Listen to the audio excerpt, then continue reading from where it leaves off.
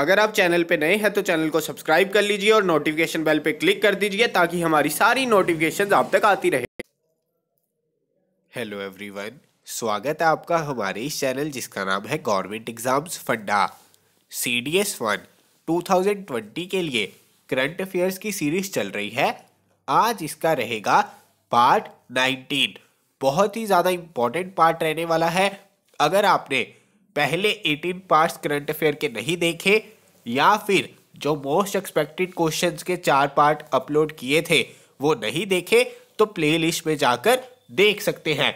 इसके अलावा, जो बाकी प्लेलिस्ट भी बनाई गई है, चाहे हिस्ट्री की हो इकोनॉमिक्स की हो, अगर आपने उनमें से कोई लेक्चर अभी तक नहीं देखा तो देख लेना, क्योंकि वो आपके सी के लिए बहुत ही ज़्यादा ज़रूरी है। इसके अलावा अगर आपको मॉक्स चाहिए हो गाइडेंस नोट्स तो आप इस नंबर पे व्हाट्सएप करके हमारा बैच ज्वाइन कर सकते हैं।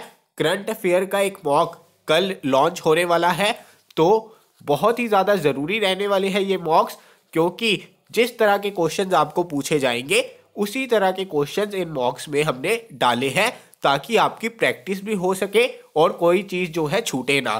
तो चलिए, बिना देर के हम शुरू करते हैं पार्ट नाइनटीन। तो चलिए देखते हैं। Joint working group to suggest veg for more effective implementation of the centres Ayushman Bharat प्रधानमंत्री Jan Arogya Yojana was form under तो देखिए, पहली चीज़ तो ये थी कि आयुष्मान भारत प्रधानमंत्री जन आरोग्य योजना जो है, इसके एक साल अभी सितंबर में ही कंप्लीट हुए थे। तो इस वजह से ये पहले ही न्यूज़ में रहा। दूसरी चीज़ एक जॉइंट वर्किंग ग्रुप बनाया गया है, उसको चेयर कौन करेंगे? हेड कौन करेंगे? तो देखिए, वो करेंगे दिनेश अरोड़ा जी। तो इस तरह के क्वेश्चन जो है, आपको सीडीएस में देखने को मिल सकते हैं। आपने मुझे ये बताना है कि ये स्कीम क्या है, क्योंकि अब तक तो एक साल हो चुका है तो इस स्कीम के ऊपर डायरेक्टली क्वेश्चन आना थोड़ा मुश्किल है। लेकिन क्योंकि अभी एक साल भी हुआ है इसके ऊपर, अभी अभी इसका वन ईयर कंप्लीशन था और बहुत ही बड़ी हेल्थ स्कीम है। और उसमें एक ये पॉइंट ज़रूर मेंशन हो सकता है कि ये जो जॉइंट वर्किंग ग्रुप अभी अभी बना है, इसको हेड कौन करेंगे? आगे देखते हैं। A quasi cryptocurrency called as learning coin has be launch by तो देखिए ये नाम याद रखना, इससे पहले मैंने आपको बताया था कि लिब्रा क्रिप्टो करेंसी आएगी। वो किसकी है? वो है फेसबुक लॉन्च करेगा 2020 में। फेसबुक लिब्रा और इसको कंफ्यूज मत करना, ये जो लर्निंग कॉइन है क्रिप्टो करेंसी ये लॉन्च करेगा वर्ल्ड बैंक आईएमएफ के साथ मिलकर, और इसकी कोई भी मोनेटरी वैल्यू जो है, नहीं रहेगी। सिर्फ़ डाटा कलेक्ट करने के लिए, समझने के लिए, इस वजह से लर्निंग कॉइन, इसके नाम से ही आपको पता लग रहा है लर्निंग। यानी कि इस टेक्नोलॉजी को समझने के लिए ही वर्ल्ड बैंक और आईएमएफ जो है, इसको लॉन्च करेगा। याद रखना है, लर्निंग कॉइल वर्ल्ड बैंक और आईएमएफ और जो हमारा लिब्रा क्रिप्टो करेंसी है, वो Facebook.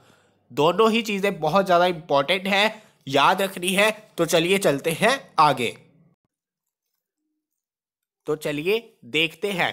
Consider the following statements regarding pneumonia तो देखिए निमोनिया की वजह से सबसे पहले जो हमारी इन्फेक्शन होती है, ये होती है लंग्स में। आपकी एक लंग में भी इन्फेक्शन हो सकती है, या फिर दोनों लंग्स में इन्फेक्शन हो सकती है निमोनिया के कारण। अब देखिए रिसेंटली सांस अ कैंपेन अभी अभी क्या हुआ? एक सांस कैंपेन जो है लॉन्च किया गया। अब इसके पूछे जाने के चांसेस इसलिए भी है, क्योंकि एयर पोल्यूशन काफ़ी न्यूज़ में रहता है।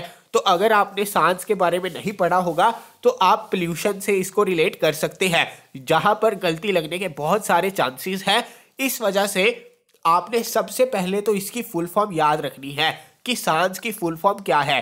तो देखिए social awareness and action to neutralise pneumonia successfully तो पहले आपको फुल फॉर्म पता होनी चाहिए कि सांस कैंपेन लॉन्च किया गया किस वजह से? निमोनिया की वजह से। अभी अभी जिन बच्चों की उम्र पाँच साल से कम होती है, हज़ार बच्चों के पीछे, जिनकी उम्र पाँच साल से कम है, लगभग सैंतीस बच्चे जो है इंडिया में, उनकी डेथ हो जाती है पाँच साल से पहले। और उन सैंतीस में से लगभग पाँच से छः बच्चे जो है, वो निमोनिया की वजह से, निमोनिया से ग्रस्त होते हैं, जिनकी वजह से उनकी डेथ होती है।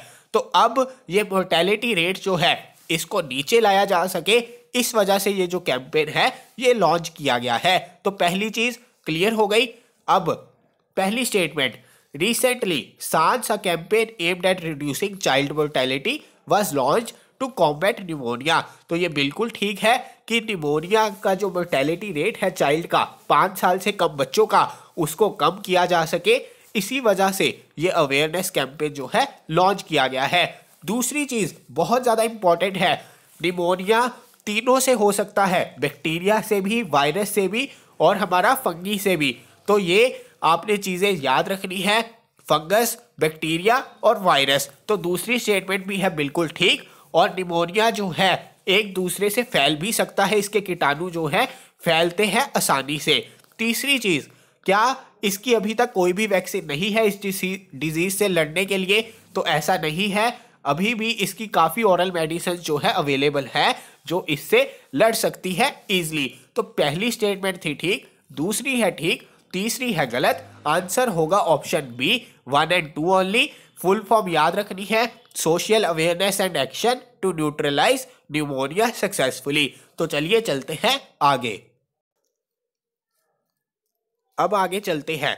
अब देखिए, ये जो न्यूज़ है ना, इसको तो आप स्टार मार्क कर लीजिए। और महारतन कंपनीज़ जो है महारतन कंपनीज़ जो है, उनका क्राइटेरिया भी पढ़ लेना और महारतन कंपनीज़ कितनी है कौन कौन सी है, ये भी पढ़ लेना। और ये जो क्वेश्चन है, ये क्वेश्चन स्टार मार्क कर लीजिए मोस्ट इंपॉर्टेंट क्वेश्चन है और डायरेक्टली आपको ये पूछा जा सकता है। आंसर इसका रहेगा नुमालीगर रिफाइनरी लेकिन है क्या? देखिए अभी अभी क्या हुआ? हमारा भारत पेट्रोलियम कॉरपोरेशन लिमिटेड जो है बीपीसीएल है उसकी डिस इन्वेस्टमेंट कर रही है हमारी गवर्नमेंट यूनियन कैबिनेट इन्होंने ये अप्रूव कर दिया था। अब है क्या दिक्कत कि पहली बात कि ये डिस इन्वेस्टमेंट जो है प्राइवेटाइजेशन जो है, ये क्यों कर रही है? देखिए, सरकार के इस वक्त पास जो है, पैसे नहीं है लिक्विड कैश नहीं है। इस वजह से वो डिस इन्वेस्टमेंट कर रही है ताकि उनके हाथ में पैसा हो। इसको अगर आप कंपेयर करना चाहें तो इस तरह से कंपेयर कर सकते हैं जैसे किसी के पास बहुत सारी ज़मीन है, लेकिन जो कैश है, वो उसके पास उतना नहीं है। तो अगर उसको कैश चाहिए तो वो क्या करेगा? अपनी एक ज़मीन बेच देगा और उससे कैश ले लेगा। अब ये जो प्राइवेटाइजेशन और डिसइन्वेस्टमेंट सरकार कर रही है, इस वजह से क्योंकि इनके पास लिक्विड कैश नहीं है। अब इनकी डिसइन्वेस्टमेंट अगर करेंगे, उसके बदले में इनको जो है पैसा मिलेगा, अपना डेफिशिट जो है वो पूरा कर पाएँगे। तो पहली चीज़ ये कारण जो हमारी महारतन कंपनी है। अब पहली चीज़ कि भारत पेट्रोलियम कॉरपोरेशन लिमिटेड जो है, ये एक महारतन कंपनी है। अब इसकी डिसइन्वेस्टमेंट हो रही है तो ये ऑलरेडी बहुत ज़्यादा बड़ी बात थी। अब पहली चीज़ ये हो गई, महारतन कंपनीज़ के बारे में आपने सर्च आउट करना है और मुझे नीचे बताना है। अब भारत पेट्रोलियम कॉरपोरेशन लिमिटेड के नीचे भी काफ़ी कंपनीज़ हैं, जिसके शेयर जो है भारत पेट्रोलियम कॉरपोरेशन लिमिटेड के पास है। उनमें से एक रिफाइनरी है नुमालीगर नुमालीगर रिफाइनरी और ये कहाँ पर है? ये है हमारे असम में। अब दिक्कत क्या है? अगर भारत पेट्रोलियम कॉरपोरेशन लिमिटेड की डिसइन्वेस्टमेंट होती तो ऑटोमेटिकली इसकी भी डिसइन्वेस्टमेंट हो जाती, इसकी भी प्राइवेटाइजेशन हो जाती। लेकिन काफ़ी प्रोटेस्ट हुआ, जिसकी वजह से ये जो डिसइन्वेस्टमेंट हो रही है, इसमें से नुमालीगढ़ रिफाइनरी को अलग रखा गया है और नुमालीगढ़ रिफाइनरी का पीएसयू स्टेटस जो है, वो उसी के पास रहेगा। बहुत बड़ी बात है, ये जो नुमालीगढ़ रिफाइनरी बनाई गई थी, ये जो हमारा असम अकॉर्ड था 1985 का साइन हुआ था, उसमें एक क्लॉज था, जिसके तहत नुमालीगढ़ रिफाइनरी जो है, ये बनाई गई थी। जिसकी वजह से ये काफ़ी प्रोटेस्ट हुआ, लोगों के सेंटीमेंट्स जुड़े हुए हैं इसके साथ, जिसकी वजह से इतनी बड़ी डिसइन्वेस्टमेंट से इसको अलग रखा गया है नुमालीगढ़ रिफाइनरी को अलग रखा गया है। तो पहली चीज़ क्लियर हो जानी चाहिए कि बीपीसीएल की प्राइवेटाइजेशन हो रही है। दूसरी चीज़ इसमें से नुमालीगढ़ रिफाइनरी को अलग रखा गया है और उसके स्टेक जो है, वो पीएसयू रहेगी, वो गवर्नमेंट के अंडर रहेगी। तो ये चीज़ आपने ध्यान में रखनी है। और नुमालीगढ़ रिफाइनरी जो है हमारी, ये सबसे ज़्यादा पैराफिन वैक्स जो है, बनाती है इंडिया में। सबसे ज़्यादा पैराफिन वैक्स जो है, यही रिफाइनरी के द्वारा बनाया जाता है। तो सारी चीज़ें आपको क्लियर हो गई तो चलिए चलते हैं आगे। आगे देखते हैं। Consider the following statements about recently release report on road accidents in India 2018 by ministry of road transport and highways तो देखिए ministry of road transport and highways ने ये रिपोर्ट पब्लिश की तो बहुत ज़्यादा इंपॉर्टेंट रिपोर्ट है। अब लगभग पाँच लाख एक्सीडेंट जो है रोड एक्सीडेंट जो है इंडिया में हर साल होते हैं, जिनमें से डेढ़ लाख लोग जो है, बहुत ही ज़्यादा बुरी तरह से इंजर्ड होते हैं या उनकी डेथ हो जाती है रोड एक्सीडेंट में। अब इसका मेन रीज़न क्या है?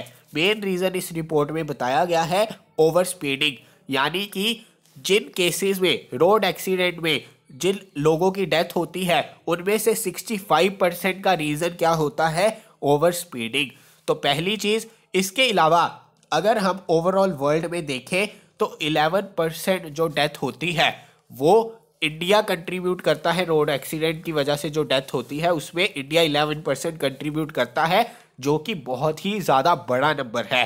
अब पहली स्टेटमेंट है, ठीक। दूसरी चीज़, Tamil Nadu and Uttar Pradesh remain accounted for the highest number of road accidents and death on account of road accident ये भी ठीक है। सबसे ज़्यादा एक्सीडेंट्स जो है, वो तमिलनाडु और उत्तर प्रदेश में ही हुए हैं। पहले नंबर पे है तमिलनाडु, दूसरे पे है उत्तर प्रदेश। और अगर डेथ के अकॉर्डिंग भी इनको रखा जाए तो तमिलनाडु में सबसे ज़्यादा डेथ होती है किसकी वजह से? हमारे रोड एक्सीडेंट्स की वजह से और उत्तर प्रदेश है सेकंड पर। तो दोनों ही चीज़ें हैं बिल्कुल ठीक। ये रिपोर्ट बहुत ज़्यादा इंपॉर्टेंट थी। किसने पब्लिश की, ये भी आपको पता होना चाहिए। पहला पॉइंट भी है ठीक, दूसरा पॉइंट भी है ठीक। आंसर होगा option C both one and two तो चलिए, आज के लिए मैं विराम लेता हूँ। ये थे आज के हमारे पार्ट 19 के इंपॉर्टेंट करंट अफेयर्स अगर वीडियो अच्छी लगी तो लाइक कीजिए शेयर कीजिए कमेंट कीजिए। जल्दी मिलूँगा अपनी अगली वीडियो के साथ। जय हिंद।